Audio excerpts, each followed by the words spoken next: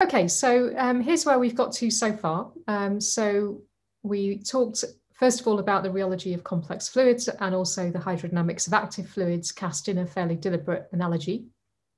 Uh, for each of them, we gave um, an overview of the basic area. We talked about the general structure of continuum models that you use in each case. As we, we said, it has the same basic structure in each case. And we gave an example of each case. Um, for worm-like micellar surfactants, we talked about the reptation reaction model, and we talked about a model of nematic hydrodynamics for active fluids. And then in each case, we um, asked about homogeneous shear. Um, so that's where you impose that the shear field remains uniform across the sample. We then saw that if the constitutive curve, that's the relationship between shear stress and shear rate, has a, a region of negative slope or is double valued, um, that can give way to shear bands in a 1D calculation, and then they can break up to a state with undulations along the interface or to more complicated turbulent-like states in um, active fluids. So in each of those cases, we were thinking about instability that arise within the bulk of the flowing fluid, and we were more or less actually ignoring what happens um, at any surfaces um, of the fluid. And then just at the end of yesterday, I talked through some numerical methods which you can use um, in each of these cases. What we're going to do today is retreat back to the world of passive complex fluids. So I'm not going to say anything about active fluids uh, again uh, in these talks for the rest of today.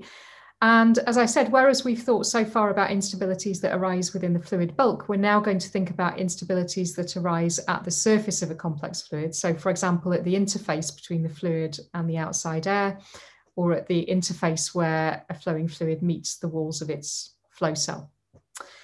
Um, Okay, so let me see. Yeah.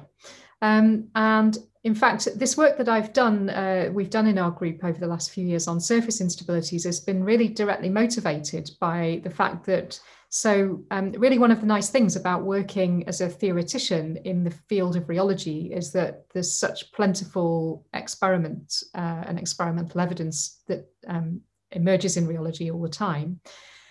On the other hand, it also seems that um, fairly widely across those experiments, there actually arise some key um, challenges or what, what might get called, I guess, artifacts in the experiments or difficulties with the experiments that seem to me to arise widely and uniformly enough that they were worthy actually of theoretical study and understanding in their own right.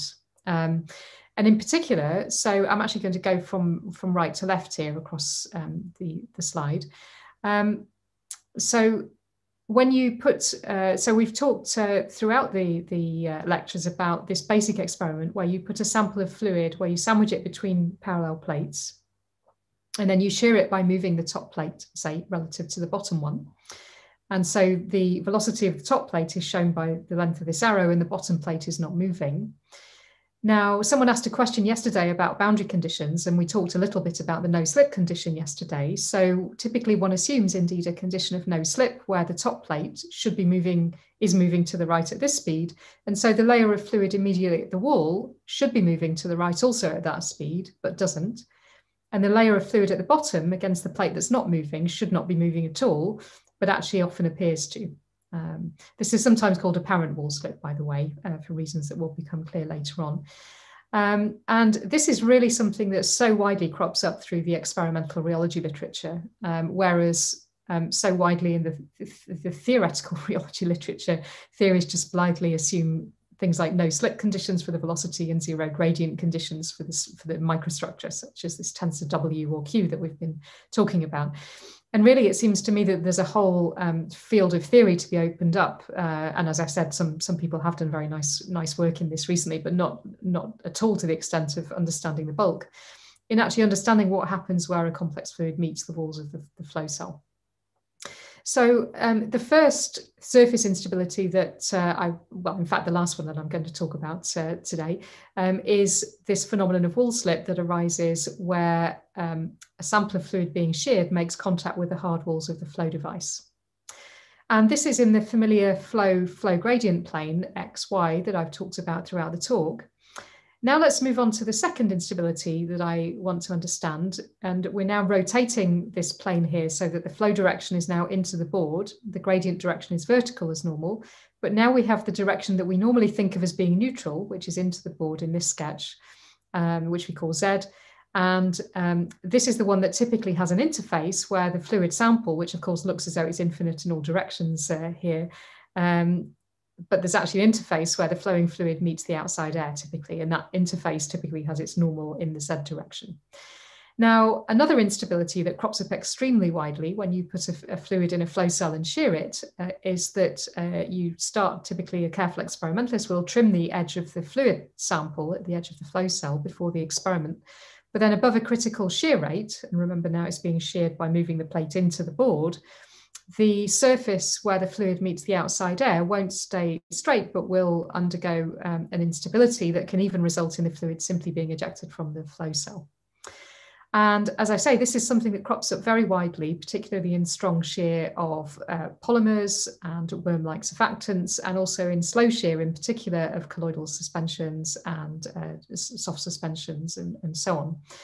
Um, uh, sorry, I, sorry, no, those conditions are wall slip. This is something that crops up particularly, uh, ignore the bit about colloidal suspensions though, this crops up very particularly in high shear of um, polymers and also in fact of uh, colloidal uh, dense suspensions as well.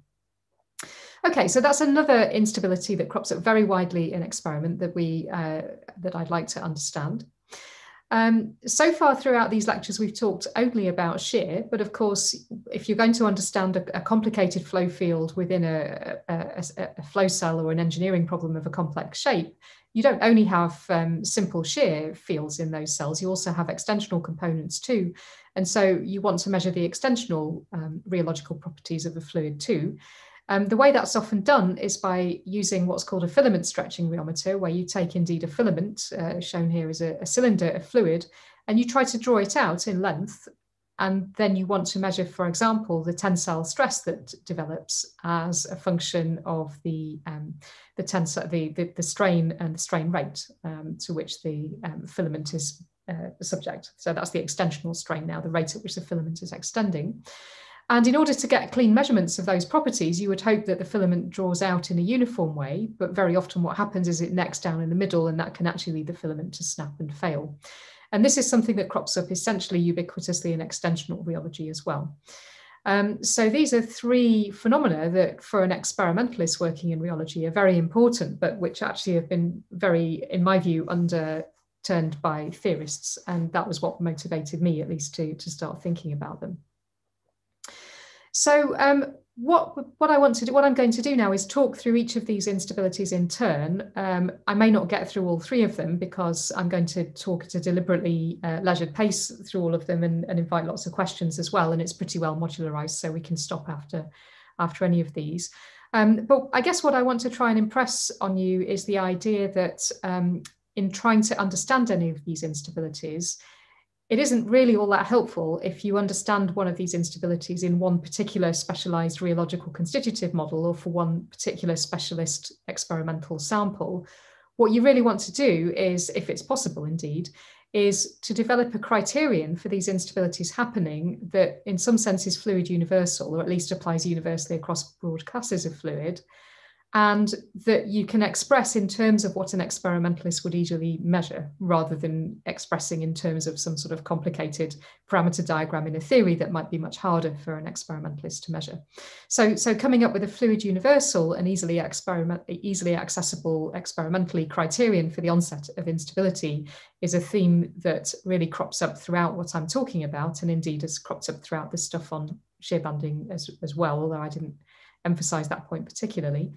Um, of course, uh, as a, a, physicist working in this area, I particularly want to understand the physics of the mechanism of the instability. And perhaps most importantly of all, in terms of helping out uh, experimentalists, is to suggest practical strategies that might mitigate this instability. And we've, we've made more progress actually um, here and here in that than, than we have in terms of the, the necking, although there are, there are already some strategies that experimentalists have developed, like feedback strategies for the extensional case. Okay, so let's go into the first of those now. And sorry, I'm just changing the, the title now briefly, and it's in a slightly grandiose way to, to suggest that these are actually the three major challenges in experimental rheology. Um, and I think um, I ran that suggestion by a couple of eminent theorists and uh, experimentalists in rheology, and they, they concurred with that. Okay, um, so the first of those then, necking and extensional filament stretching rheometry. So the basic idea then is that we want to now, uh, besides the shear that we've talked about throughout the talk, is that we want to also characterize the experimental rheology of a complex fluid. And to do that, uh, one often uses what's called a filament stretching rheometer, and this was pioneered in particular by um, Gareth McKinley and also Tam Sridhar um, from the experimental viewpoint. But the basic idea is that you want to have in, somehow a filament, and of course I'm uh, ignoring how it's clamped or anchored at any plates at either end for the moment, but you have a filament and uh, you want to draw it out in length and you would hope that it draws out in a uniform way. And then um, what you might want to measure as experimental signatures is the the counterpart of the constitutive curve or the flow curve that we've talked about a lot in rheology. That's the stress as a function of the flow rate.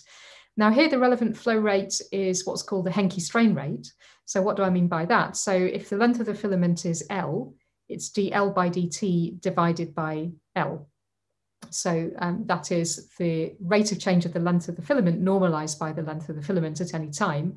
And so if you have a constant Hencky strain rate, that actually says that the filament grows exponentially as exponential um, epsilon dot t. Okay, and then what you would hope to measure then is uh, the tensile stress, that's the force in this direction per unit area and a, um, across a surface that has its normal in this direction. And the extensional constitutive curve, which is the counterpart of the flow curve that we talked about in shear, is then the tensile stress as a function of the Hencky strain rate. And as I've said, um, measurements of that quantity are very often hindered, often even catastrophically so, by necking of the filament, which can even cause the filament to break. There have been feedback strategies uh, developed by this, um, in particular um, by uh, David Hoyle, work, who was uh, in Durham actually in, in my group for um, several years and working in particular with Ole Hassager, who's also pioneered this um, extensional filament stretching rheometer in particular. Um, I should have mentioned Ole's name actually here. He's been extremely important in driving this technology forward and uh, that Copenhagen group has particularly worked on feedback strategies for, for mitigating this necking instability. But what, what I wanted to do was to, to try to uh, understand this from an experimental viewpoint. So what I'm going to do then is um, introduce this effect by giving some experimental observations of it. I'll then talk through a criterion that pre-existed any of this stuff that uh, we thought about for necking um, that was put forward, assuming the filament is a purely elastic solid. Of course, these complex fluids aren't purely elastic solids but this was the, the closest criterion that was available before um, this work, I guess, and that's called the Considère criterion, after presumably a person called Considère. Um, what we did here was look at uh, criterion for necking not in elastic solids, but actually in viscoelastic complex fluids. And we did that by three calculations, what I'll call calculation zero, the back of a postage stamp, um, and then looking at two different calculations corresponding to two different experimental um, setups, one where you impose the tensile stress and aim to measure the strain rate, or conversely, where you impose the strain rate and measure the tensile stress.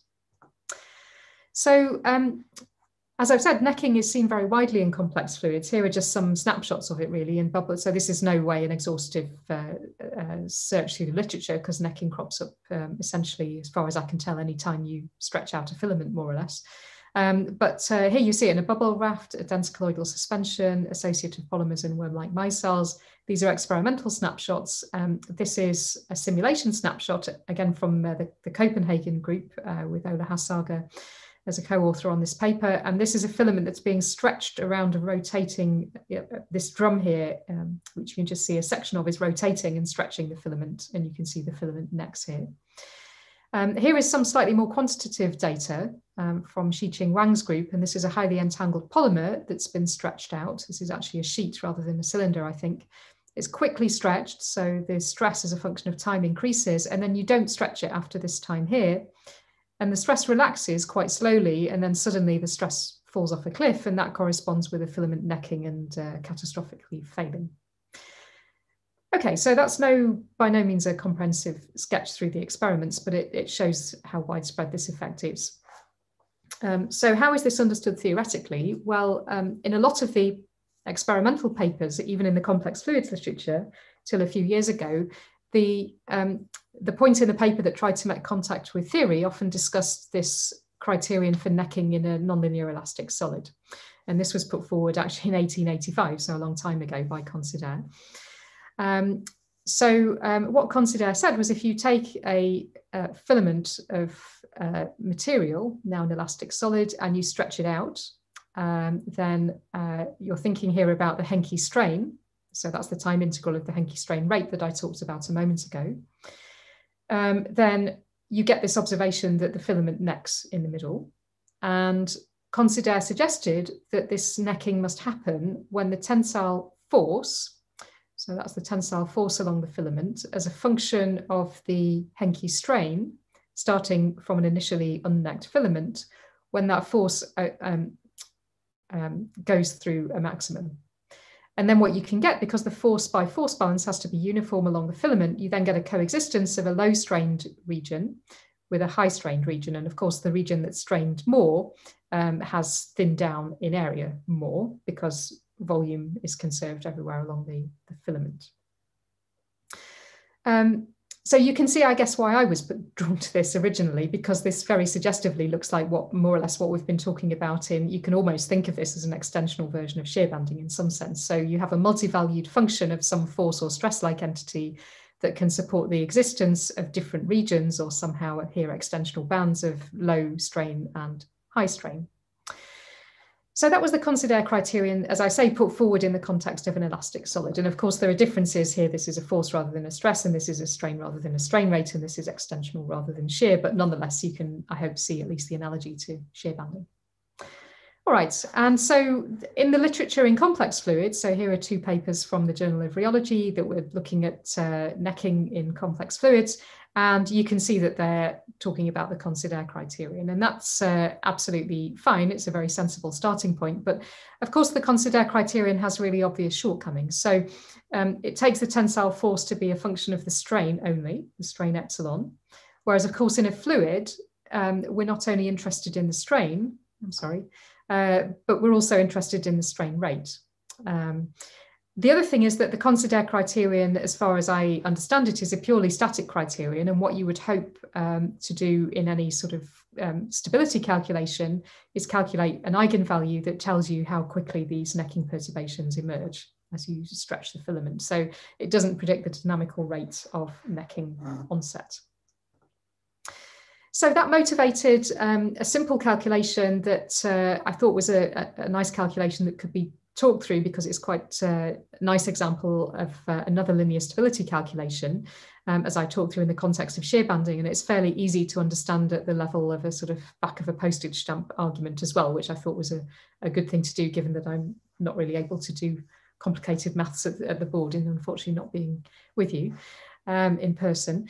Um, so let's talk through um, effectively back of the postage stamp calculation for this. Um, so we're thinking about taking an initially uniform cylindrical sample of complex fluid, and here we're going to denote the stretching direction by Z. And what are the relevant variables that we think about for um, a filament or a cylinder, cylindrical filament that's being stretched out? And imagine so far it's uniform and isn't necking. So the relevant variables are the area of the filament, and uh, so that needs no further explanation, I think. The Hencky strain rate, which I've already defined, d by dt of the length of the filament normalized by the length. So a constant Hencky strain rate gives an exponential growth in time of the length of the filament. The tensile stress, that's the force per unit area, the force in this direction across this area. Um, and the force, therefore, of course, the tensile force is indeed, therefore, the area times the stress. So those are the variables defined in the context of a uniform cylinder. And what we're interested in here is how and why does the filament just start to neck? And of course, when it starts to neck, um, it, these things can then depend on the direction Z along the length of the cylinder. Um, apart from the tensile force, which by force balance has to remain uniform along the length of the cylinder. And that's a little, that arises from thinking about the force balance condition in Stokes uh, force balance. And that's in a sense the counterpart of what we talked about uh, the other day, where actually in a shear situation where you're not having to worry about the area changing, the, um, the shear stress had to remain uniform as a function of the flow gradient direction in that case. Okay, um, so what we're going to do is a linear stability analysis, which I've talked through actually uh, a couple of times already, two or three times in the context of these lectures. So I hope this is now becoming familiar, and I'm sure you'll have seen linear calculations talked about many times in your other lectures too. So what we're going to do is consider a base state, which is a state where we have these uniform variables and then they're going to become non-uniform by adding to those uniform variables small amplitude perturbations. So just we're considering tiny amplitude perturbations. And we're going to do a linear stability analysis where we substitute the base state plus the small amplitude perturbations into the equation of motion. We expand in powers of the amplitude of those perturbations. And then that gives us a linearized set of equations um, to first order in the amplitude of those perturbations. And that will enable us to then um, understand, for example, how any fluctuations in the area, whether they decay in time to leave a uniform, um, uniformly extending filament, or whether they grow in time to leave a filament that necks. Um, just as a couple of other uh, uh, bits of detail, I guess we're considering long wavelength um, um, perturbations where the, the wavelength is much longer than the radius of the filament that enables us to use what's called a slender filament approach in the calculation. And we're neglecting surface tension. So that's relevant to very highly viscoelastic filaments where the bulk viscoelastic forces greatly outweigh any effects of surface tension. There is a whole separate class of instabilities, which I'm not going to talk about today, which is fluids that are still viscoelastic, but where um, uh, much less so, and where the surface tension, uh, so there's much more fluid-like um, samples than these, where the surface tension where the filament meets the outside air is important. And there, actually, um, even at uh, zero Hencky strain rate, you can get a cylinder of fluid breaking up into beads. There are various instabilities, Rayleigh plateau, Rayleigh Taylor instabilities, um, because it's energetically favorable to have a bunch of um, spheres rather than a, a cylinder because you um, because of surface tension considerations but I'm not thinking about that today. So surface tension doesn't play a role and any instability comes from thinking about the physics of the bulk forces inside the, the filament. All right, um, so um, what we're thinking about um, here then is, as I've said, how and why does this filament start to neck? And we're going to try and understand that with reference to this underlying quantity that we've talked about, which actually is what we're often trying to measure when we do these filament stretching experiments. That's saying, imagine we start at time zero, stretching the filament out at some Hencky strain rate epsilon dot. And then after some time, imagine that, uh, so imagine then the filament stretches out in a uniform way. The tensile stress will grow as a function of time, but should eventually settle onto some steady state function of the Hencky strain rate. And that steady state function of the tensile stress as a function of the Hencky strain rate then defines what's known as the extensional constitutive curve. And that's, as I've said, the counterpart of the flow curve, the stress against strain rate that we've talked about in the context of shear. So if this is attainable, so if this can be measured before the filament's broken, in other words, it defines the steady state stress versus the Hencky strain rate in a uniformly thinning filament. So it's important to realize here, though, that although this relationship between stress and strain rate is um, steady state. Of course, the filament as a whole is not in steady state because by definition, it's extending in length and thinning, therefore, in area to preserve volume. So it's a little bit distinct from the shear situation where we can think of everything being in steady state in principle.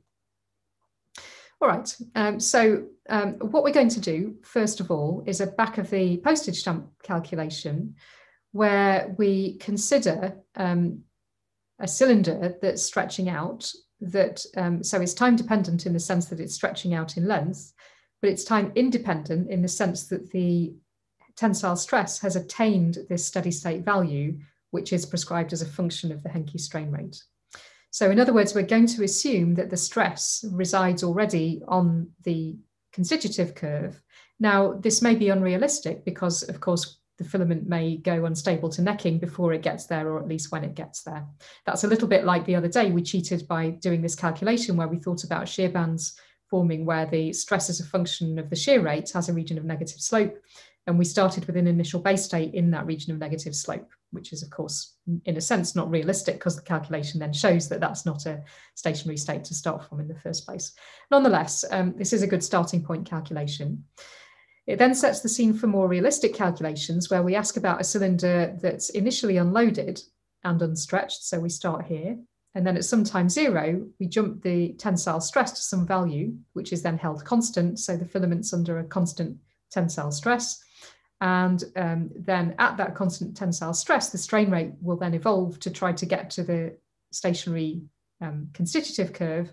But we might find that the filament necks before you can get to that point, which is disappointing to an experimentalist who set out to measure the constitutive curve, of course.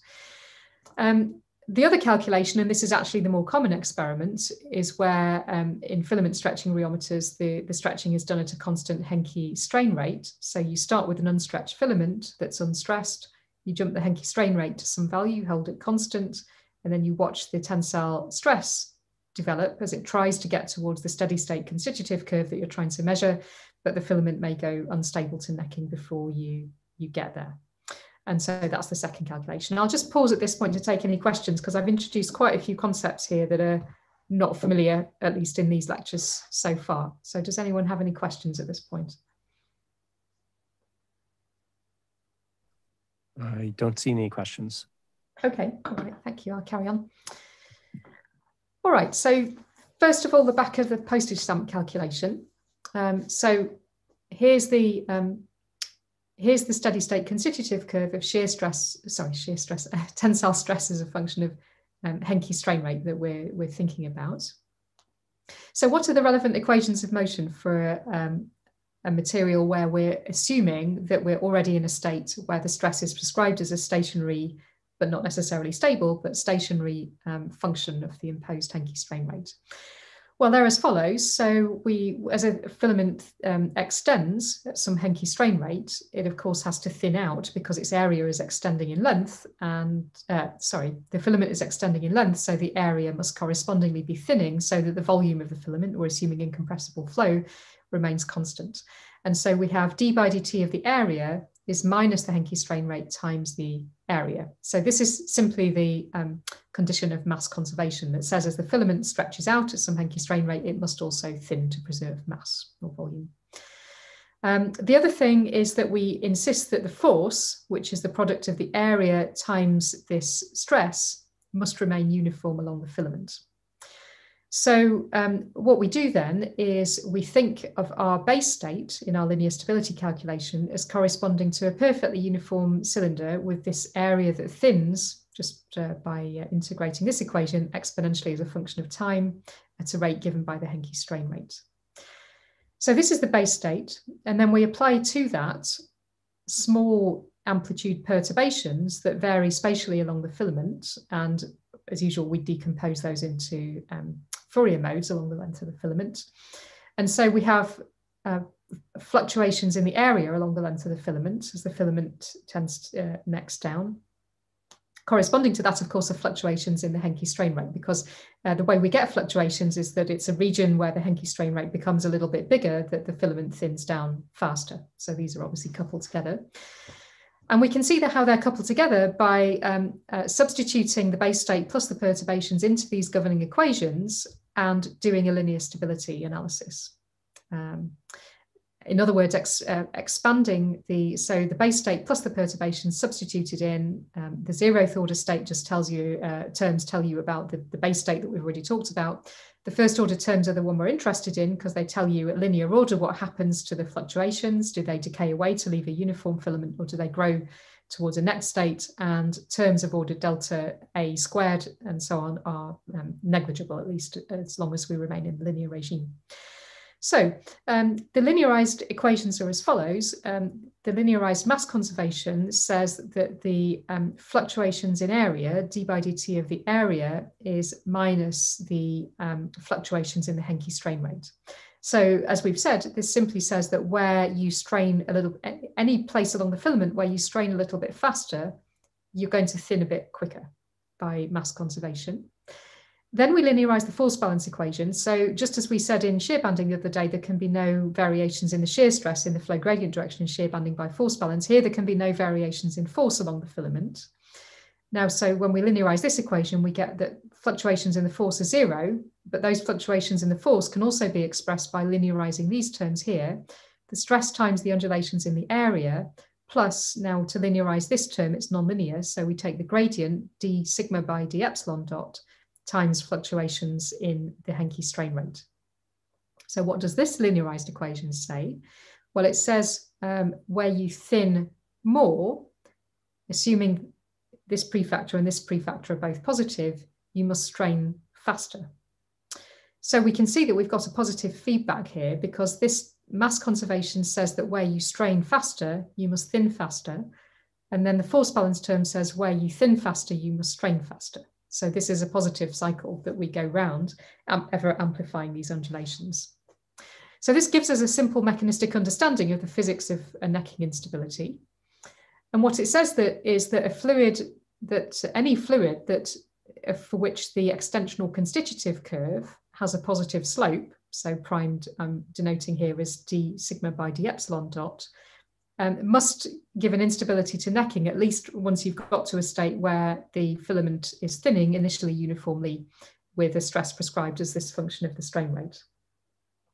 So that's actually interesting because it says even if you imagine somehow being able to thin out a filament of Newtonian fluid and not even worrying about surface tension, I guess it says that even that must, must neck, although I've only really thought about this in the context of complex fluids. So that's the back of the postage stamp calculation. And I think it's been useful because it says that essentially you're always doomed to neck eventually. And it also has given us a basic mechanistic understanding, which simply says if you strain more, you thin faster, and if you thin, you must strain faster, assuming that your constitutive curve has a positive slope. This also um, was a surprise to me initially as someone who comes from the shear banding literature, because of course there you have stress as a function of strain rate and it's the region of negative slope that's unstable to banding, whereas here you're getting the other way around, which felt uh, a little bit counterintuitive to me to start with, but I guess it simply consequence. It's just simply saying you always have to neck, whereas in shear, you don't always have to band unless you have this funny region of negative slope. Okay, so that's the um, that's the sort of zeroth order back of the postage stamp calculation. Um, now, what about a more realistic case that might actually be realized in the lab, where you take an unloaded, unstretched filament at time zero, and then you suddenly impose on it a tensile stress that you then maintain for subsequent times, the strain rate starts to evolve towards the constitutive curve. And remember, this constitutive curve pertains to a uniformly thinning filament. So it, this concept of this curve really ceases to exist if the filament necks before you get there. And it might do that, and we want to know whether it does.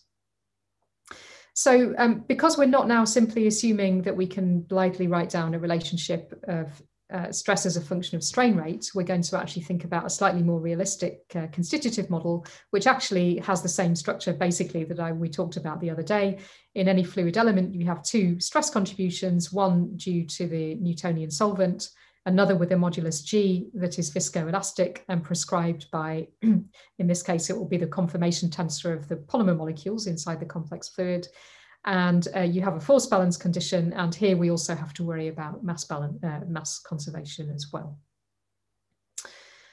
Okay, so uh, I've described what we're doing in an initially unstretched unloaded filament that you're then subjecting to a tensile stress. Now, what we find in this uh, calculation, and this is actually a quirk of um, the way these constitutive models are, are, set up, and if you solve them at fixed stress rather than fixed strain rate, it actually means you have one um, uh, effectively one derivative less than you thought you had in some sense.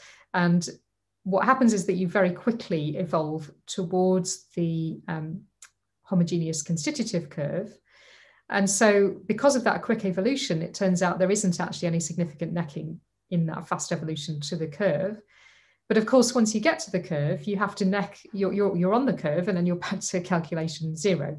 So actually the back of the envelope uh, calculation has helped us to understand this more realistic experimental case too.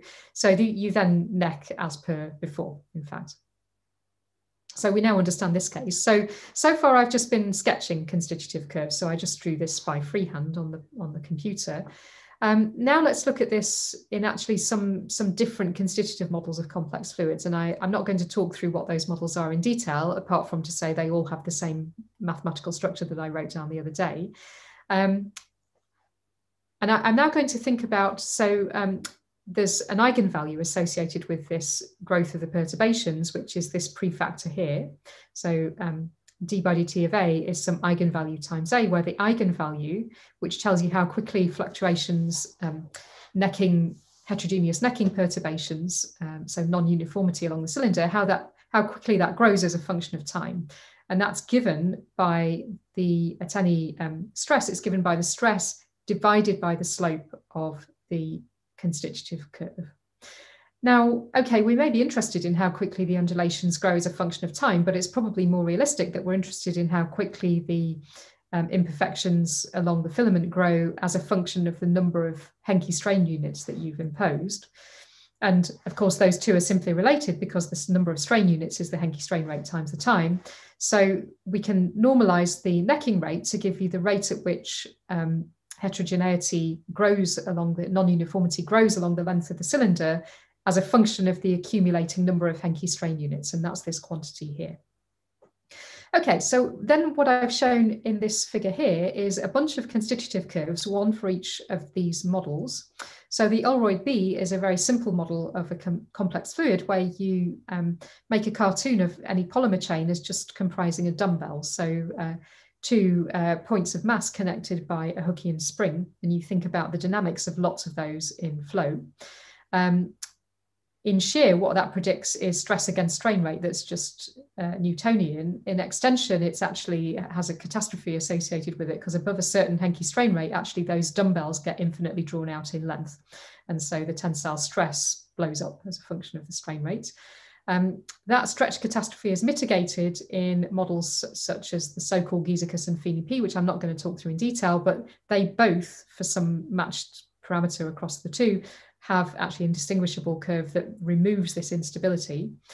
These are all very, very simple phenomenological models that are just right, written down by thinking about dumbbells with some extra physics bolted in. Um, a more microscopically faithful model of polymers, which thinks about processes such as uh, reptation and reaction and chain stretch and uh, so on, that I've talked a little bit about in the earlier lectures, actually, the context of worm like micelles, um, have um, uh, have constitutive curves that I've shown here. So we have um, the Rolie-Poly model without so-called chain stretch. And I'm not going to go into all the details of that, but chain stretch is basically, we talked about a polymer molecule residing inside a tube and whether it has chain stretch or not is whether there's a zeroth order stretching mode of the polymer along the tube is allowed. Um, if it isn't, you have a very flat tensile constitutive curve. If it is, and if you don't mitigate a stretch catastrophe a la Oldroyd B, you get another catastrophe. This is with finite chain stretch, but with the stretch being mitigated. Okay, if you didn't understand any of that, don't worry. Um, I'm just talking about here um, six different models of the rheology of the uh, kinds of polymers that we might be thinking about here. Um, and uh, the take home message here is that at any points on this constitutive curve, I've shown by this color scale here, the rate at which um, necking perturbations grow along the length of the fil uh, filament per unit number of accumulating Hencky strain units. And the take home message is that when the constitutive curve is flat, so remember um, um, um, sigma primed is d sigma by d epsilon. So when sigma primed is small, so in other words, when d sigma by d epsilon is small, so when we have a flat curve here, this denominator is large and the necking rate is large. And so we have um, a very high color here associated with that very strong rate of necking. Um, so you can see that if you don't have chain stretch, or if you don't have enough chain stretch, you're doomed to, to neck pretty fast. On the other hand, if you do have chain stretch, and in particular, if you have this stretch catastrophe, then actually the stress increases very quickly with the strain rate. And that actually provides a very strongly stabilizing influence against the effects of necking. Um, and that's because it sort of slows down the, the second part of this, this loop here, in a sense. All right. so um, so this tells us then that following the imposition of a stress, to just to summarize, at any given imposed stress, whatever fluid it is we're thinking about, at any imposed stress, we quickly transit to its homogeneous constitutive curve without any necking yet having occurred. And then you neck at a rate shown by the color scale here with drastically quick necking in this regime and much slower necking in that regime. Okay, so let's focus on one particular of those models. Um, that's the that's so-called the Rouse linear entangled polymer molecule with finite chain stretch. Um, I'll just talk a little bit about the underlying microscopics of what happens to the polymer chains in these different areas.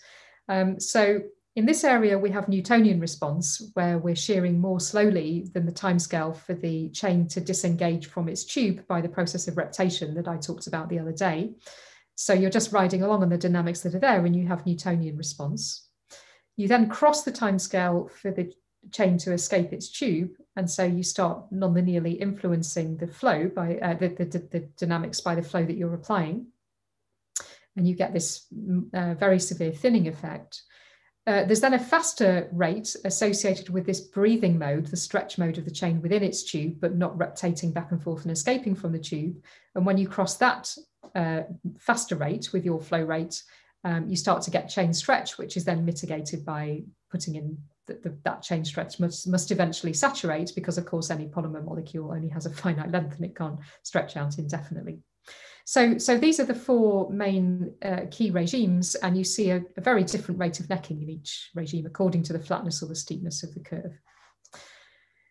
So what we can do just finally um, to, to, to, what we want to do is say to any experimentalist, well, at any given experiment where we're imposing any given level of stress, we've transited quickly to the constitutive curve, and then we want to ask as a function of the accumulating number of Hencky strain units, um, so how much the filament as a whole has got stretched out, how quickly do we neck? So to do that, what we're going to do is turn this axis around so we have now the, so this is this constitutive curve that I've shown before with this, the, the um, stress now shown as the independent parameter, which is somehow makes sense because that's the experiment you're doing. You're measuring the stress and then you quickly go to the constitutive curve with this strain rate. You then want to ask as a function of the accumulating strain, um, so how much the filament has got stretched out at any given strain rate, how much have you necked by any given strain that has accumulated. And that's actually what these contours show. So at any given stress, um, as I said, you quickly zip up to the constitutive curve. The strain continues accumulating at a rate that's prescribed by that curve. Um, as a function of that accumulating strain, each time you cross one of these contour lines, you neck by a little bit more. Um, and so we can see that um, in this regime where the constitutive curve is flat, so that when it's turned over, it's steep. Um, and this is the regime of um, saturated orientation, chain orientation.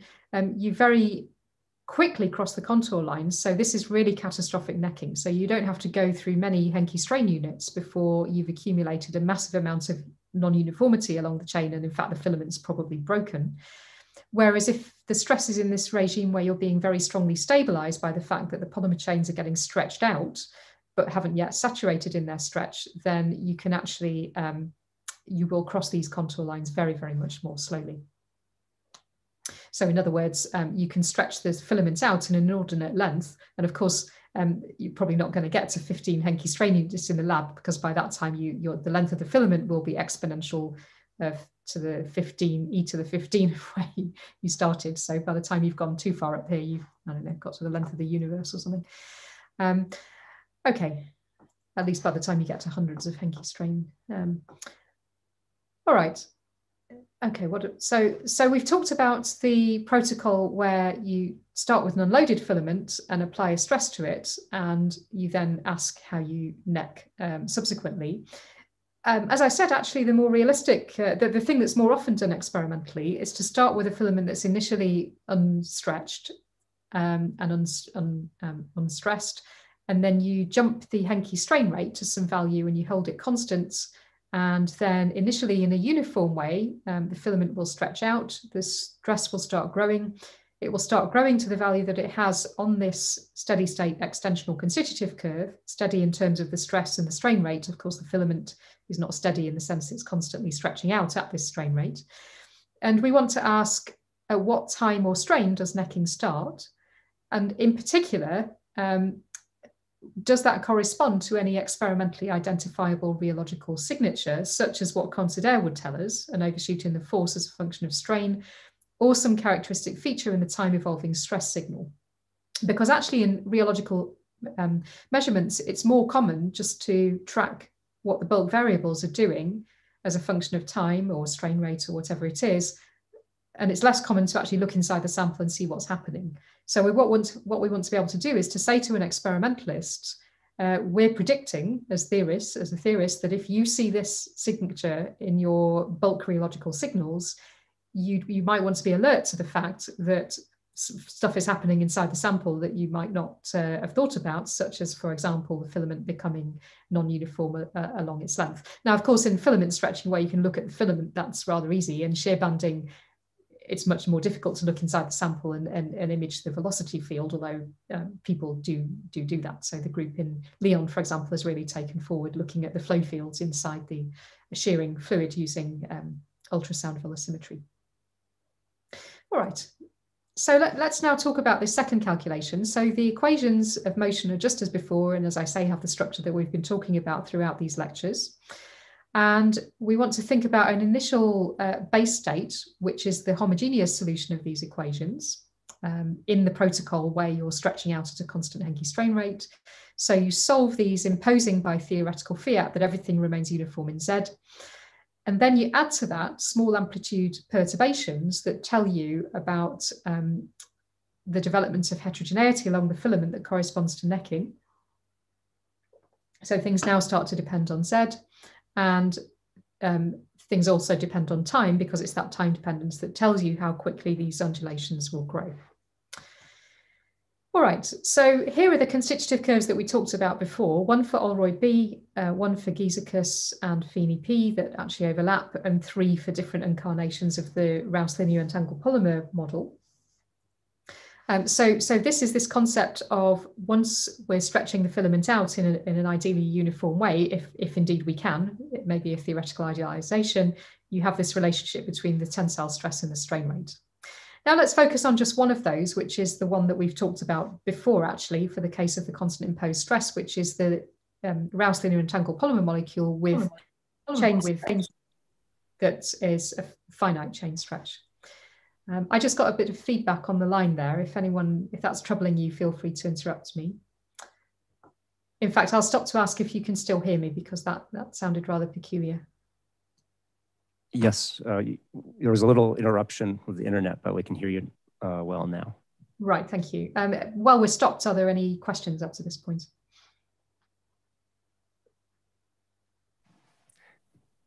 So one question here. Mm -hmm. Uh, hi, I was wondering if, like in practice, the necking always happens like in the middle of the filament, or like if it more often there's like some defect in the filament and it happens elsewhere, like or originates elsewhere? Mm, that's a very good question. Yeah, thank you. So, of course, what we're doing here is being vastly oversimplistic theorists and assuming that we can start with a completely uniform filament um, and ask about the fate of necking perturbations along it. Um, what happens in experimental practice are two things. Now, imagine you could design a complex fluid that won't ever neck according to this calculation. So it doesn't have any, quotes, material instability built into it. Whether you could design such a fluid or not is a moot point, but let's imagine that you could. Um, now let's imagine putting that in a filament stretching rheometer and, and stretching it out. Typically what you do actually, because you're thinking here of very highly viscoelastic uh, materials, is that you would somehow clamp it to, to, each of the plates or it somehow sticks to each of the plates and then you you pull it out. Now of course at each of the plates if it's really stuck to the plates or clamped to the plates then it can't thin down at the at the end where it meets the plates but it must thin down in the middle by mass balance. And so what that means is that that simple effect which is to my mind nothing to do with the material instability of the kind we're talking about here but is a simple consequence of clamping at plates that seeds heterogeneity that automatically has a little bit of pinching in in the middle. And so I guess what I would argue, and the way we always argued this uh, towards the end of our papers on this, is, is that is that it's that pragmatic experimental feature that then gets picked up by the intrinsic material instability, mechanical instability that we're talking about here. So that's basically a long way of saying that I think because of that and because of the symmetry, the left right symmetry of that, if, um, I mean, it may sag a bit under gravity, I guess, too, in a filament stretcher, but but if you're just thinking about the left right symmetry of, of filament without gravity, the theorist speaks, uh, being stretched out uh, and having this clamping effect at each plate, then it will, I think it will get seeded in the middle, yes. And it usually does seem to be in the middle. Um, does that answer your question?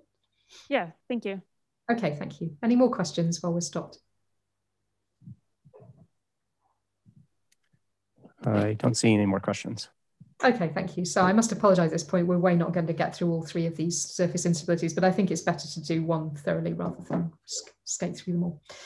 All right. Um, okay, so, so we've talked about the um, we've talked about the constitutive curve, and uh, we're focusing in on this Rouse linear entangled polymer model with uh, finite chain stretch. And this is this uh, concept of this stationary constitutive curve where that describes the relationship between the stress and the strain rate in a filament that's um, in this steady stress state but is uh, uniformly thinning out. Now, of course, starting from time zero, where we started with an unstretched and unloaded filament and we started straining it, uh, the stress would, of course, initially be zero because it was unloaded. And so you don't get to this, uh, this constitutive curve instantly, but there's some time progression where the stress builds up from the sample having been unloaded um, initially. And as it gets stretched out, the stress uh, develops. And eventually, in a calculation where, first of all, we impose by theoretical fiat that the no necking can occur, um, this stress will build up until it gets to a steady state that's prescribed by this constitutive curve. So um, this is a calculation where, as I say, this is what we call the homogeneous space state in the language of a linear stability calculation, is that we take the liberty of being a theorist and being able to prescribe that the filament has to be thinning in a uniform way. Um, so, so this is the stress as a function of time were the filament to be thinning uniformly. It may not do in practice, but uh, we can impose that it must theoretically. And the eventual stationary state of all of those is that uh, is the one that's reached at each of these um, these indicated shear rates here. The force is the product of the stress times the, the cross-sectional area of the filament. Now, um, the stress is of course increasing, but the area is decreasing and those two effects compete with each other. And so the force increases and then decreases as a function of time. Now, what would Considère tell us? Um, Considère tells us uh, that we should expect to have necking of the filament when the force is a decreasing function of the Hencky strain. df by d strain is zero. Now, the strain is just the strain rate, which is constant in each of these experiments times the time. And so Considère therefore tells us that we'd expect to see necking when the force goes through an overshoot as a function of time. Now, is that what we find? Well, actually, we don't. Um, so I haven't I've, I haven't gone through the details of this this calculation, but it's actually fairly easy to do in a few lines if you wanted to work through it yourself, and you can find the um, the answer in the there was a PRL that I published. Um, I don't remember the year, um, 2010, probably around about there, uh, early 2010s. Um, and you can show that um, you get an eigenvalue to the onset of necking. Now, this eigenvalue, I should say, is a slightly fishy concept here because what we're doing is saying at any time, freeze the time dependence of the base state and do a linear analysis and ask whether the eigenvalue is positive. Um, that's a bit of a fishy concept. What we can also do is integrate up the linearized equations over time without relying on the idea of frozen eigenvalue. And we find essentially that perturbations start growing where the eigenvalue becomes positive. So the eigenvalue, although a bit fishy, theoretically is, is actually a good guide to when you're going to get necking. What we find is that the eigenvalue actually becomes positive when, um, so there's some stuff here, there's a prefactor that's positive. Um, this is the um, uh, D, uh, D stress by D strain, or therefore equivalently to within a prefactor D stress by D time. So this is always positive because the stress is always increasing. And there's a curvature term here that says, because of the signs of all this other stuff being positive, it says that when this curvature becomes negative, the eigenvalue becomes positive. So what this tells you is that if the tensile stress as a function of time goes through an inflection point, um, that's when you should expect to see, um, oh, okay, right. I was just having a moment of horror that I've marked the inflection point wrong here. Um, this is the inflection point d2 sigma by dt squared um, if both of them are plotted on a linear, scale. they're both here plotted on log scale, so the inflection point doesn't quite show up in the right place. So I think this is in, in the right place, um, although probably this is drawn on actually for pedagogical purposes here. But, but in any case, it's when, when plotted on a linear scale, the stress as a function of time starts curving downwards. Okay, so that's one, uh, but in fact, we find two possible modes of instability. One is this so-called stress curvature criterion. And of course, um, if the stress is going to attain a steady state, which it always does in this base state, if, if a steady constitutive curve exists, which it always does uh, in any model in, uh, in homogeneous uh, stretching, then if you're going to get to a steady state, you always have to curve down to get there in the end. And so you're always going to start necking in the end, which is, of course, what, what we showed earlier anyway. There's also another mode, which actually doesn't crop up, doesn't happen in practice in many of these models, but which nonetheless is theoretically possible, which is that, uh, and I call this a modified Considère criterion. And it says that the eigenvalue is positive when the derivative of the force, when, when some derivative of the force with respect to some strain is negative. Now, this isn't the same as the Considère criterion. What this is is a very peculiar concept, which is to say evolve the base state, the homogeneous base state, up to some point in time, then freeze everything, then switch off the relaxation terms in your constitutive model, rendering it a purely elastic model, and then evolve forward in the next time step to see whether the force in that hypothesized model where you've switched off any vis- viscous re- viscoelastic relaxation is zero. Um, and if that very peculiar derivative, which I don't think, I don't know how you would measure that experimentally. Perhaps you'd strain at some finite rate and then strain in the next increment infinitely quickly. Anyway, I don't know that that's ever been done or whether it could be done. But nonetheless, it's a very peculiar thing and it doesn't correspond to what an experimentalist would see the force as a function of time. And actually, it's that mode is not present many times anyway. It's usually this mode that we get. Right, so having talked through all of that at the level of sketches, now let's look at some real experimental results. So here's the constitutive curve, which you're hoping you might attain in practice. Um, and then, um, so in each experiment, we're imposing some strain rate and we're trying to measure this stress as a function of time, but as a function of the accumulating strain along the filament. So as the filament stretches out, you want to know how much you've necked by any given strain. And each of these contour lines tells you how much you've necked by by the time you get to any given total imposed strain along the filament. And what we find is that in the region where the constitutive curve is flat, just as we showed before, you neck very quickly, you cross the contour lines very quickly. So you don't, you can't stretch the filament as a whole out very much before you've crossed a lot of contour lines and the filament may have broken. Whereas in this re regime where chain stretch is rapidly increasing and hasn't saturated yet, the stretch provides a very strongly protective effect against this necking instability. And so the contour lines here are what we get actually by not relying on anything to do with an eigenvalue and just integrating up the linearized equations on the computer. And then I've marked on here the various criteria that we get um, as, as talked about here. The modified Considère criterion, as I said, actually isn't present at all in this model the original Considère criterion is here, but we find actually that the modified that the stress curvature criterion does very much better.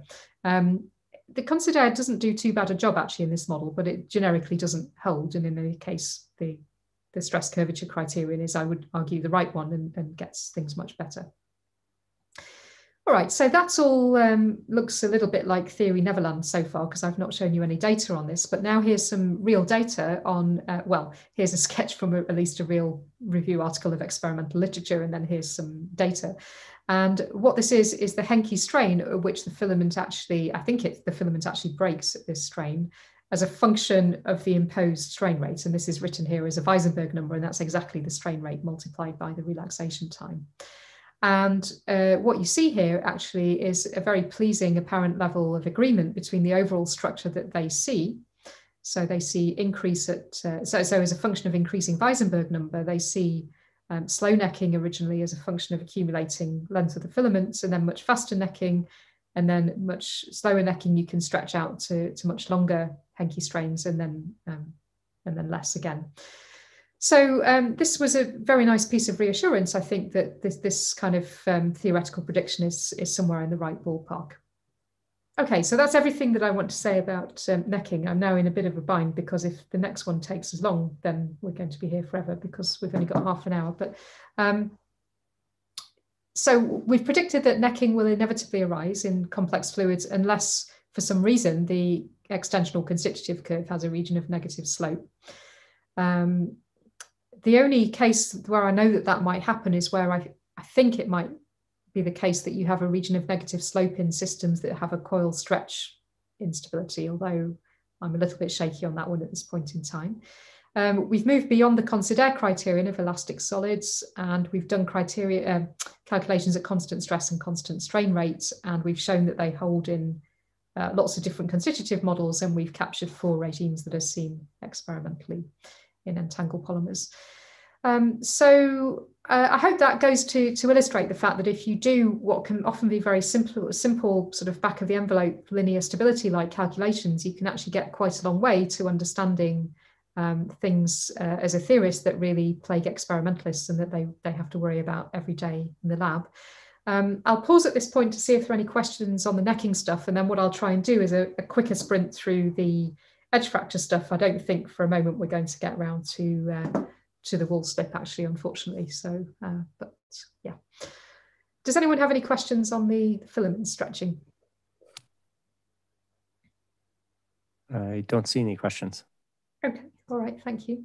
Um, I, I, guess I'll, I'll just carry on into the edge fracture case, but if if um, maybe Brad, you could look around the room, and if there's any stronger appetite to hear the wall slip, I'll I'll divert to the wall slip. But otherwise, I'll talk about the edge fracture. Um, that seems agreeable to people. Okay, all right, that's fine. Good. Actually, this is more instructive in a way because this turns out to be another example of a layered fluid instability, which we've already talked about in the context of these interfaces in shear bands. So it shows how one piece of physics can help understand another as well in some sense.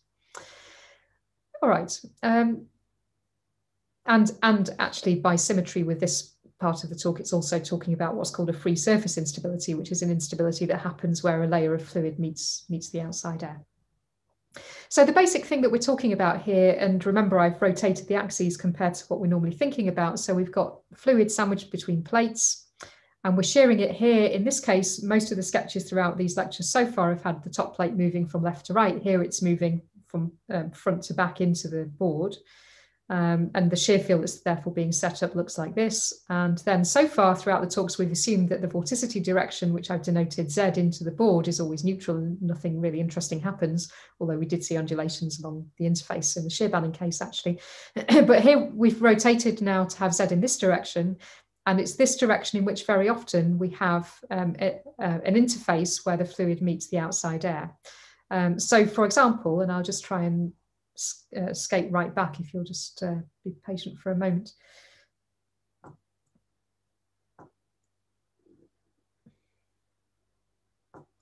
Yeah, so if you have a, a rheometer here, then indeed the, um, yeah, so here, here's an example of a rheometer. So concentric cylinders, and you have a, a sample of fluid here, the flow direction here is around the theta direction, the gradient is in the r direction, and then the neutral or vorticity is in the z direction. And you can see here that you're, if these uh, this is open to the air at the top, that, that where the fluid sample eventually terminates, you'll have an interface between the fluid and the air that will indeed have the interface normal in the z direction. Okay, so now let's skate all the way back. Sorry for the delay.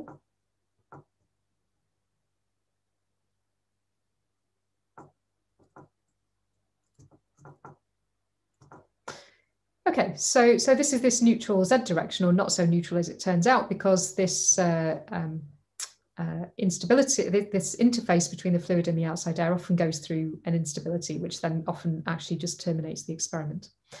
So I'm going to talk first of all about how widely edge fracture is seen experimentally, and I'll talk about, uh, again, an early example of a criterion that was put forward for the onset of edge fracture and uh, what we tried to do in our group was actually develop a new criterion that was understanding this um, edge fracture in a, in a fuller way and giving a, um, a mechanistic understanding of it, and uh, also a prescription for when an experimentalist might expect to see it, and also a possible mitigation strategy.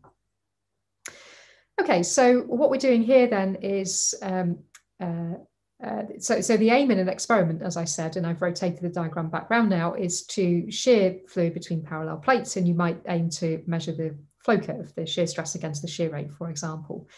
But in a rheometer, and actually here uh, I've drawn a so-called cone plate rheometer. So this is a plane with a cone spinning round on the top of it, and now the flow direction is round this way. So I could have saved myself the trouble of going all the way back there. The flow direction is round this way, the gradient direction is this way, and the vorticity direction is this way if the gap is narrow here, so a narrow angle and you're far enough out, then you more or less actually have a region of planar shear around here. So I'm going to approximate all this as planar shear. So gradient direction Y as usual, flow direction Z, uh, sorry, flow direction X in and out of the board now, vorticity direction Z. And what happens is this interface destabilizes and this really hampers experimental rheometry because you can actually find that the sample just is ex expelled from the flow cell and then the experiment ends at that point. And here, again, nothing like a comprehensive survey of the literature, just some, um, some examples, a quick skate over it. So uh, perhaps the most telling one here is this experiment here, where um, you, you start out with a sample of fluid. Look, this is looking in through the side of, I think, a plate plate rheometer. So you have a gap of a wedge of a, a sandwich of fluid between two plates, and one of them is rotating. Uh, the experimentalist neatly trims the sample at the start of the experiment if the shearing is done slowly, that edge stays trimmed, but if it's done quickly, the edge destabilizes. And at this high shear rate here, it destabilizes so much that you've seen this lovely goo come out of the side of the cell here. So um, frankly, when I see snapshots like that, it makes me quite glad I'm a, theorist, I think sometimes. Uh, so, so this is a, a, real problem that experimentalists have to put up with so much in, in the stuff that they do, particularly shearing highly entangled polymeric-like fluids, including worm-like micelles, actually at a very high uh, flow rate. And there's some very nice work, actually. There's a nice paper done by Peter Olmsted trying to understand what happens when you have both shear bands and edge fracture in the same cell, which is uh, uh, very nice work in Journal of Rheology about 10 years ago, I would say. And in fact, it's it's been said that that uh, uh, by these authors, but also many others, that edge fracture is actually the limiting factor in experimental rotational rheometry, or torsional rheometry, as you might call it. So, um, compared to the ubiquity of it experimentally, actually, this effect has been very little studied theoretically, at least until the work that that we did in this group um, in the last five years. But there was a very, very nice early study by Roger Tanner from Sydney. Um, and he put forward a scaling argument. Now, these axes are all labeled differently from the ones that I've labeled, so please ignore the axes. But as usual, you have flow, uh, gradient, and vorticity. And this was obviously done in the days when sketching stuff on a computer was quite tricky. In fact, I think I was in primary school when this work was done. So um, they were assuming a semicircular crack, but it's drawn actually here as a notch, but it was assumed to have some radius A. So they made several quite severe assumptions. They assumed that the flow field is only round in the theta direction, uh, that it is as for a Newtonian fluid, and they assumed a very simple viscoelastic constitutive equation, that's a so-called second order fluid, and remember, we talked about the second normal stress in the first talk, which is the difference between the gradient, gradient, and vorticity, vorticity components of the, the normal stresses. They argue that that is destabilizing because that's the difference between this component and this component, and that surface tension is stabilizing. And they said to expect fracture when the amplitude of the second normal stress difference is actually usually a negative quantity, exceeds the surface tension over the pre-assumed crack radius to within some order one prefactor. So this was a really very nice early attempt to understand edge fracture, uh, and it formed the, the basis of, uh, of what I'm going to talk about today. Um, there are various quite severe assumptions in this calculation. And in fact, when I was at a rheology conference a few years ago, um, Roger Tanner, who's now emeritus at Sydney, but still uh, very actively goes to conferences, I uh, jumped out at him from behind a pillar at coffee time one, one conference and said, uh, well, what about all these assumptions in your calculation from 1983? And uh, with extremely kindly good grace, he uh, encouraged me to go and have another look at, at that calculation, which was then really a nice motivation for the work that, uh, that we did on this.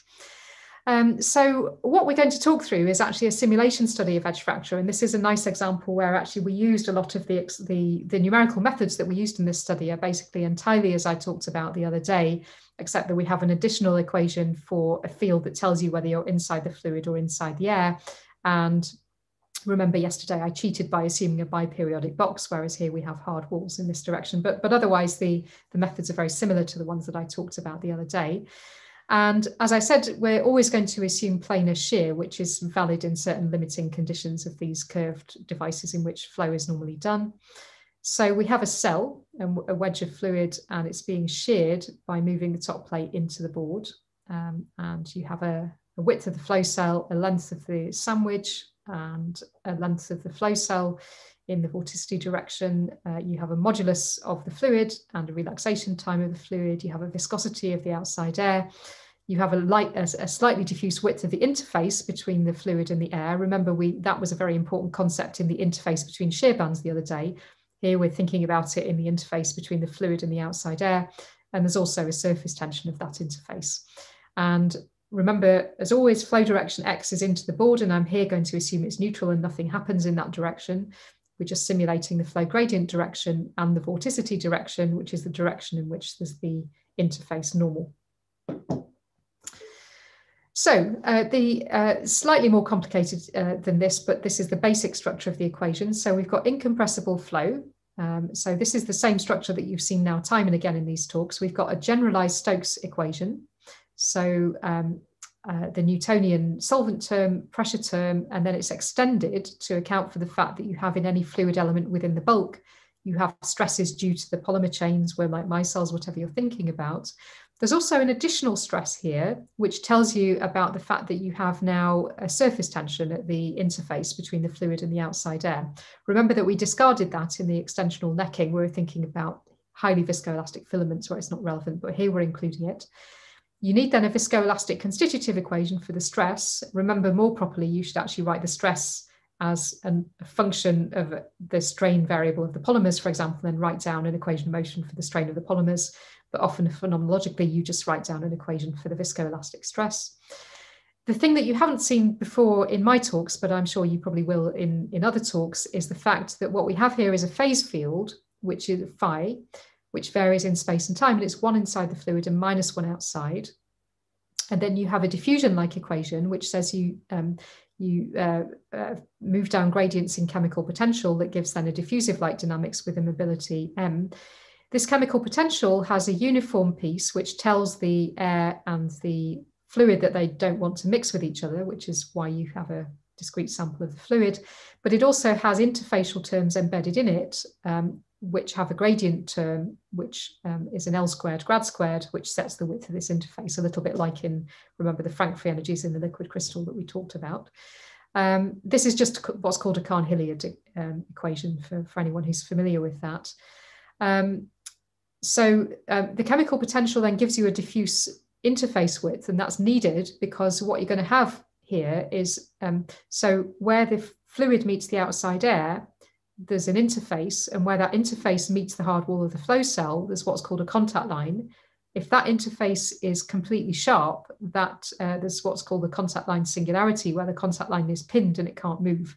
It's the fact that you have the slightly diffuse width of the interface that allows the contact line to move. You then have an interfacial surface tension, and the boundary condition that you apply to this Cahn-Hilliard equation then tells you about the equilibrium contact angle. So, in other words, whether the fluid tends to wet the sample or whether it tends not to wet the sample, which is the case as shown here. And we're going to, we've used a couple of different phenomenological constitutive equations for the, um, uh, for the stress um, so there are lots of parameters, but actually most of them are just tuned to be small. For example, the interface width compared to the box size, the air viscosity compared to the fluid. So the important ones then actually, which really determine the physics of this are the surface tension between the fluid and the outside air, the equilibrium that's suitably uh, normalized in our chosen units, the equilibrium contact angle, the imposed shear rate expressed as a Weissenberg number, so shear rate times the relaxation time, and then each of these models, Johnson, Segalman, and Giesekus, that we're using has a parameter which tells you how big the second normal stresses get. So you can think of this as a parameter that tells you how big the second normal stresses are.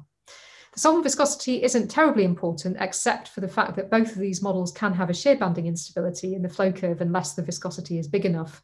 And we uh, eliminate that because we don't here want to be thinking about uh, instabilities in the bulk as well as at the surface. So we just make sure that the viscosity is big enough to remove that uh, headache. All right, and then we put as an initial condition into our shear simulations, you equilibrate the um, the liquid air to uh, as, as you get in the absence of shear. Uh, if the contact angle is 90 degrees, that's just a flat interface. Then to see the instability, you we perturb it slightly uh, by perturbing the interfacial profile. Um, and then we want to know, does that initial perturbation grow or decay as a function of time? And here's what we find, and this is just doing a, full direct nonlinear simulation using the kind of techniques I talked about yesterday. Um, so this is fixed surface tension, and with increasing shear rate, you find that the interface can either stay flat or it can partially fracture but settle to a new and stationary bowed state, or it can fully fracture where you get uh, the air from the outside completely invades the walls of the, the flow cell. So this is starting to look something like the experimentalists see and have to have to worry about. Um, here we've explored just one uh, fixed surface tension and three different values of the shear rate. You can actually plot a phase diagram in the full plane of the surface tension and the shear rate, and these are the three um, profile snapshots that we talked about before, which I've shown again here. And they really exemplify this state where the initial um, flat interface state, and we've assumed a contact angle here of 90 is flat, or where it bows but attains a steady, stationary bowed state, or where you get a fracture propagating in from the wall and you get this, this phase diagram here. You see this funny reentrant region here, which is quite peculiar. I may mention that again later on. Um, we checked uh, that you get, uh, this is robust against the choice of constitutive model. Um, perhaps needn't say more about that. Let me just show you some movies of the simulations because I think they're, they're quite cool. And, and also this shows you um, what happens when you have more or less wetting. So according to the contact angle at the wall of the cell. So if it's a relatively wetting fluid, you see that uh, the fluid indeed wets the wall of the flow cell and the fracture comes in in the middle of the sample. Um, neutrally wetting case, uh, which is probably uh, something you're not exactly going to get in practice, but the movie looks like that. And perhaps more instructively, when it's less wetting, um, as you might expect, the fluid de-wets the wall and the air comes in and invades the cell from the, the, uh, the walls.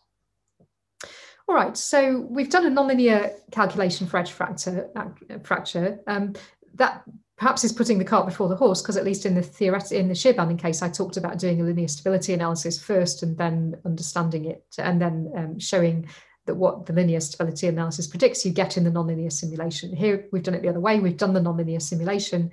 Can we now understand that with a linear stability analysis? Well, the simulation that I just discussed uh, with walls turned out to be very hard to do a linear stability analysis for that. At least I tried and failed. If anyone here can do it, please go ahead.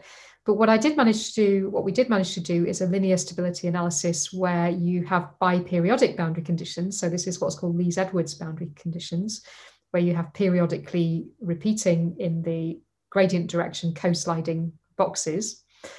Um, and that turned out to make the analysis so much easier. And we reassured ourselves that you get the same phase boundaries more or less between the two cases. So I don't think we're removing any understanding, particularly by going to the biperiodic case. And we also we simulated that too to check that you get the same behavior. Another simplification that we're going to move towards because you don't now have a contact line you need to worry about without walls. So we, we assume the interface is thin and we took the air viscosity to zero. And so what we do, and this is the final example you will see in these talks of a linear stability analysis, but it really shows you how far you can get in these complex fluids by doing these simple linear stability analyses. Um, so we did the usual thing of assuming an initial base state, which is, so I'm looking here only at the left-hand side of the, the uh, box. So we have the fluid and the air and an initially flat interface between them. So this is our initial base state, our zeroth order homogeneous base state in the calculation. Um, we're assuming that the fluid has reached a state where it's flowing with the stresses prescribed by the constitutive curve. So the shear stress is a function of the shear rate, and so is the second normal stress. And then we do a linear stability analysis where we add small amplitude perturbations in the interfacial profile of flow fields and the stress. We substitute all of that into the governing equations, which I wrote down a few slides ago. And we expand those governing equations to first order in the amplitude of the perturbations, and we throw away second order terms because they're small.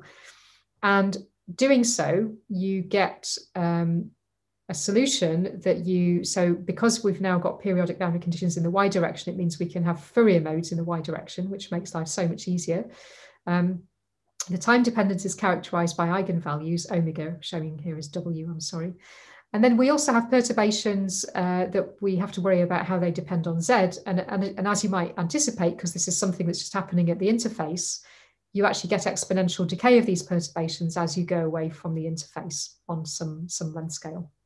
And it turns out that the eigenfunction of this calculation looks like, as I've shown it here.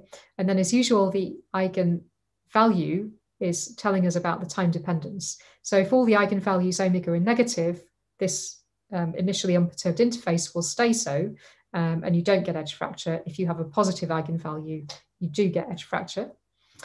And what we find is uh, that uh, the eigenvalue is positive. Now, this, this calculation is actually a lot more complicated to, to get um, an expression for the eigenvalue than it was in the, in, the, in the pen and paper one that I showed you the other day for shear banding.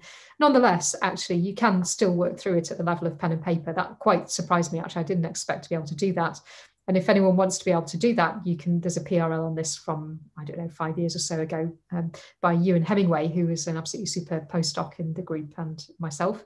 And uh, what we found in that paper was that you have a positive eigenvalue, therefore instability, when the following criterion is met. So um, what you have here is the, um, the surface tension tends to stabilize the interface.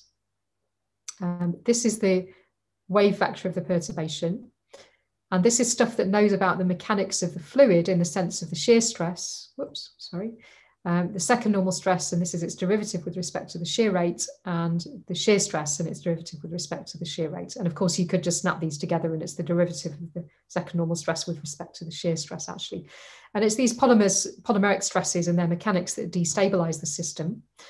Um, so here's the um, predicted threshold that we predicted analytically and here's the, um, the phase boundary that you've already seen from the full nonlinear simulation. And then if you graphed, uh, no, sorry, this is this this is the, this is the analytical prediction, and then the phase boundary from the numerics is later on. Um, this calculation was only ever designed to work at low strain rates, so you can see that you get uh, disparity at high strain rates.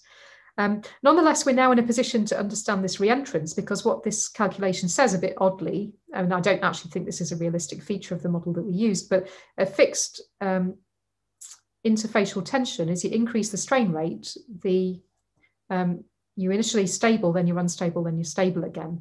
The reason this stabilizes is because dn2 by d gamma dot in the simple models that we've used tends to zero at a high strain rate, and that stabilizes everything. I don't think for a moment that's a that's um, well, I don't believe that that is a, a, a realistic uh, description. So therefore, this reentrance might take with a pinch of salt, I guess.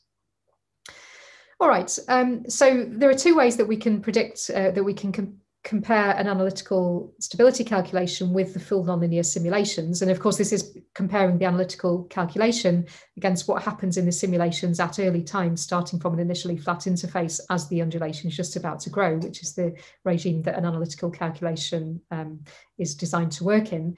And uh, it's always very reassuring when you've done a linear stability calculation to predict, to, to, to test it against a nonlinear calculation. Um, and you can you can test the eigenvalue which we've already done. You can also test the eigenfunction which is uh, all this uh, spatial stuff that i wrote down here. Um, and you can uh, plot the eigenfunction as a function of distance away from the interface and height in the gradient direction for both the in-plane velocity and also the outer plane. So that's in the main flow direction and on the left here is analytics, and on the right is the simulation, and you see really excellent agreement between the two. The interface you can hardly see as being perturbed here, so I've exaggerated here the perturbation in the gradient and the vorticity direction. Um, I talked on this slide here through the comparison with Tanner's original calculation. I'm desperately short of time, I'm not going to do that. Um, you can also think about the mechanism of the edge fracture. This is actually very um, instructive, I think. Um, and what you can talk through is thinking about how an initial, so if you had a perfectly flat interface, force balance would be good. As soon as the interface um, uh, ruckles itself slightly, um, you have to, you get, that exposes the jump in the shear stress across the interface.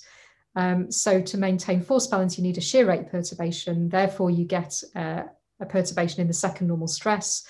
That must be counterbalanced by an extensional perturbation, which gives you a flow field that enhances the original tilt. That sounds very baroque and pulled out of a hat. You can actually work through all of these layers, and I've actually snapped some of them two layers into one in, in some of these stages.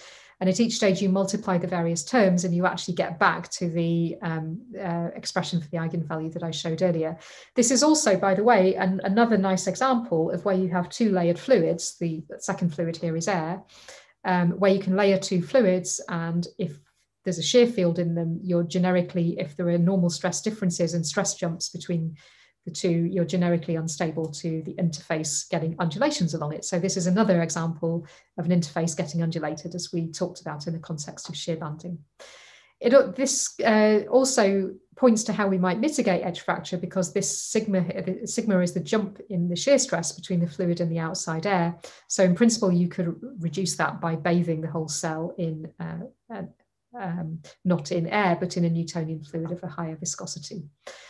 So edge fracture is ubiquitous, and what we've done is a linear stability analysis that we've compared against nonlinear simulations, and the two look to agree quite well. I'm not going to have time at all to talk about wall slips, so I'll just cut right to the end where I'll thank various people that, uh, oh dear, I'm very sorry. Um, oops, share this again. Um,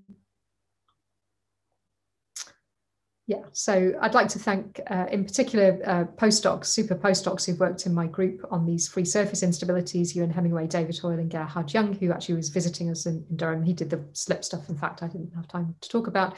And then on the active fluids, variously over the years, I've worked with Mike Cates, Ramin Golestanian, David A. Tanniemola, Liverpool, and Julia Yeomans. Um, the shear banding stuff, I must really give uh, sincere thanks to Peter Olmsted for getting me interested in that pro problem in the first place when I was his postdoc, although this, the anywhere I touched into the research was stuff I did actually after I'd left Peter's group. And I should also thank for funding uh, the UK's EPSRC and the EU and the European Research Council. Okay, so thanks again for the invitation to speak, and I'll be happy to take any questions, although I've noticed we're up against the end of the slot, but I'd also be happy to find some time, some other time to take questions if that would be more convenient too. Thanks very much. I, I think we have a, time for a few questions. Um, so, are there any questions? So, your coffee time, I think that's what it is for you. Yes, okay. Oh.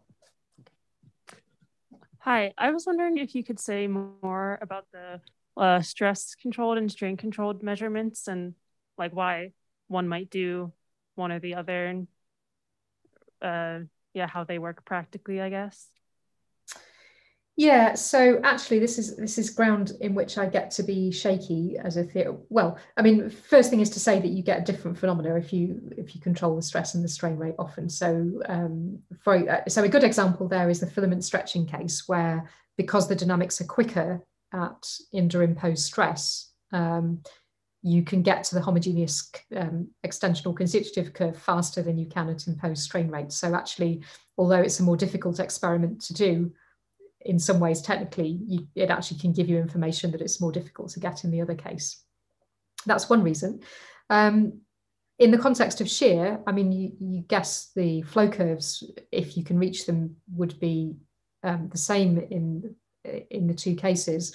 On the other hand, very often the dynamics of a system are very different in imposed strain rate and imposed stress. So a good example there is, let's imagine you're thinking about um, something known as a yield stress fluid, where um, there's a you can sustain a certain load, a certain stress without flowing, but above a certain load you must flow. Now, at any non-zero flow rate, by definition, you have to flow. Um, under an imposed stress, you don't flow below a certain stress and you do above a certain stress. And in fact, what happens below a certain stress is you tend to do something called creep, where the strain increases without bound, but at a never slowing rate. And then if you're just above the yield stress, you have a very prolonged period of um, creep and then eventually wake up and start to flow and reach the flow curve. So you generally get very interestingly different dynamics under the two protocols. And of course, that's intrinsically interesting in itself, not least because if you're an engineer using these fluids in practice, you might be doing one protocol or you might be doing the other. So really you need to understand both.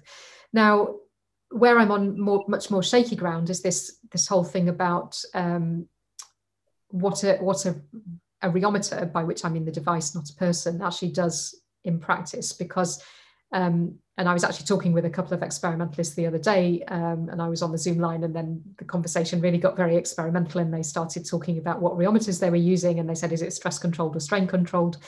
But in both cases, we were actually looking at an experiment which I would think of as being where you impose the strain rate. But it turns out you can actually use a stress controlled experiment uh, rheometer to do that, but you need some fancy software inside the rheometer that then quickly iterates to get to the strain rate that you want, even though it's actually fundamentally impo- controlling the stress. But there's some feedback software to do that. So, um, but I'm I'm much uh, hazier actually on on that than I am on the other stuff. But it does occur to me that there may be some interesting theoretical calculations to do to try to understand the implications of these feedback loops in very complex, complicated fluids. I think actually Patrick Warren did a nice calculation along those lines some years ago, but I don't recall the details now. Uh, hello, um, I have another question. um, uh, so the in, in in in your last part of your talk, so the fluid um, inside two uh, two parallel plate, mm -hmm. you show the stable and unstable region um, in the curve of uh, surface tension and uh, shear. Mm -hmm. yeah, shear rate. so I'm wondering the surface tension between uh, the fluid and the uh, and the sub the plate is very important. So how does this affect in in that uh, in that? So if if you increase the surface tension between uh, the plates and the fluid, so let, let's say in um, like it, when it complete wets the surface and uh, so so you whether you have the concave and uh, convex uh, scenario of the um, of the interface? Hmm. Okay, that's a very good question. Yeah, thank you. Can I ask? Can you still see my screen and my cursor? Yes. Yeah. Okay. Thanks. Um, yeah. So what we have is so this surface tension here. Is, um, so if I understand correctly, this was a um, a question um, about surface tension between the fluid and the plate. Okay, so there are a couple of different surface tensions we can think about here. There's the surface tension between, um, well, three actually. The surface tension between the air and the plate, the surface tension between the fluid and the plate, and the surface tension between the fluid and the air. Um, those three beating together um, set the equilibrium contact angle. Um, so, so considering all those surface tensions um, together, you get the equilibrium contact angle, which appears in our equations of motion as a boundary condition on the Cahn-Hilliard equation. So that's, that's the parameter that tells you about that. This parameter here is actually only worrying separately about the surface tension between the fluid and the air. Now, what we did, and I skated over this very quickly because I was I was having to go fast at this point, but actually, um, this is the results of simulations. Um, I was using this diagram here as an excuse for switching to a biperiodic box because this is the biperiodic case. But these three curves here are the same phase boundary, actually now in the Giesekus model, not Johnson-Segalman, but that's no, no odds. In this plane of surface tension, and remember surface tension between the fluid and the outside air and the shear rate, um, and this is this phase boundary, but for three different values of the um, contact angle. And so I think what this points to is that actually um, the, the, the, instability is not actually too sensitive to what this contact angle is. So here you can be, this is neutrally wetting, and then this is either side of neutrally wetting. Now, admittedly, we didn't go down to, uh, you know, crazy values here, um, but we, we don't actually see much difference in, in this effect here. Um, so I think the answer to that question is that, it, of course, it depends on the surface tension between the fluid and the air because that's what stabilizes um, the, the interface, but it doesn't actually seem to depend too much on the contact angle, which is the quantity in our calculation, which speaks to the um, question that you just asked, I think. Yeah. Are there any other questions? Okay, let's uh, thank uh, Suzanne for great set of lectures.